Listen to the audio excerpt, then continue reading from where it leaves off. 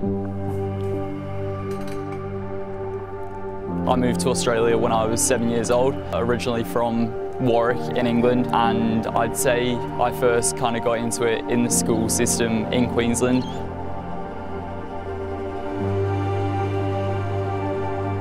From about the age of 18, 19, I've been taking it pretty seriously and when I was 20, I went over to America to start a scholarship at Drake University.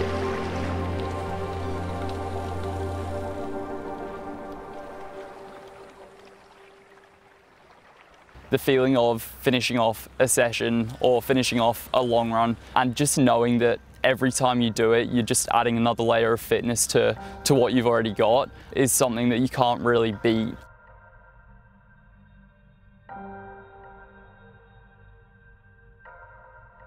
I got a session with the Burt squad today. I'm going to be doing 2 by 5k thresholds um, with about a 2 minute jog in between them.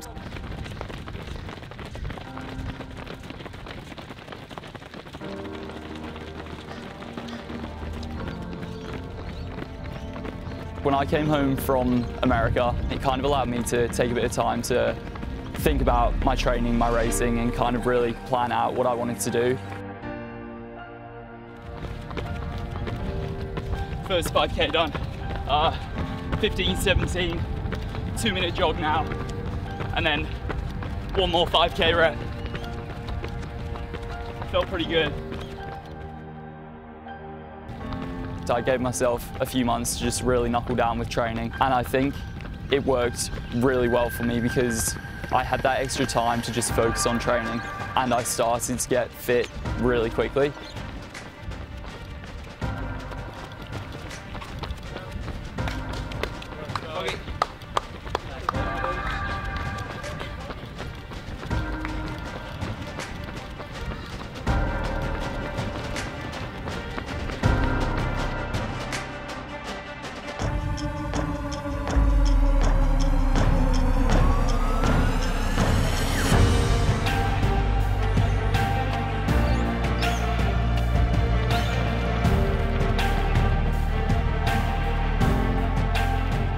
Harry are doing 8 by 800 with a minute recovery and then probably 4 by 200. I'm doing two sets of 4 by 300 uh, with 3 minutes between reps. Today is my final session leading into this weekend. Uh, and so I'm going to be doing two sets of 600, one minute break, 200, and then after those two sets, I'm going to be doing three by 300 as well.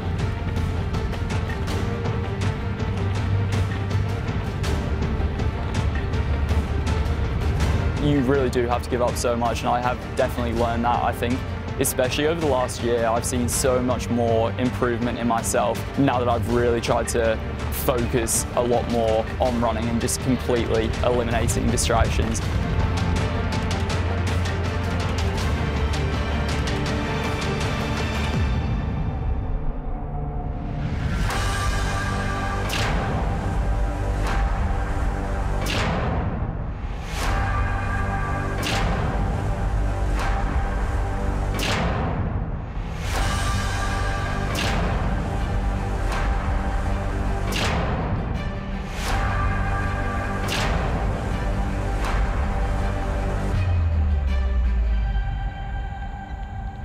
Touch wood, I'm now in the best shape of my life and this 10 month period at home has completely helped with that.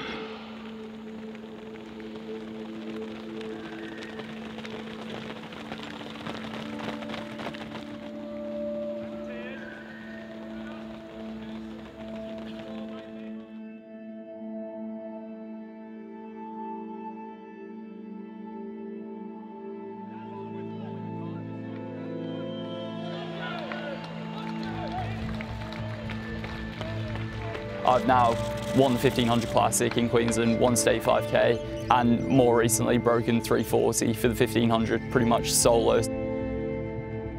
when it goes well and you break a personal best or you win a big race, there really is no better feeling and it's great to know that all the hard work you've been putting in is paying off. And I think again, that just kind of continues to increase your motivation.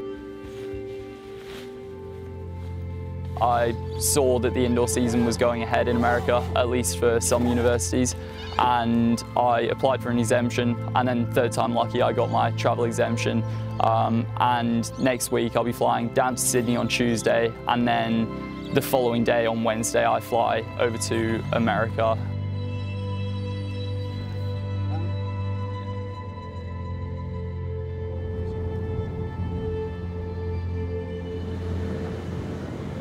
if I can run a decent mile, I'll hopefully qualify for the NCAA championships indoor in the mile.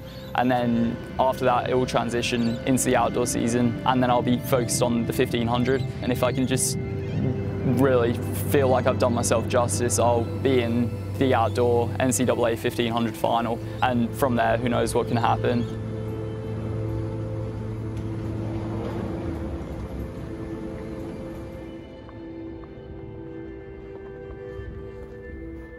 now that I know that I've run these times and I've actually put some good races together against pretty strong fields while I've been home, it will have given me a lot more confidence to actually put it together in a race that really does count, like an NCAA championship final.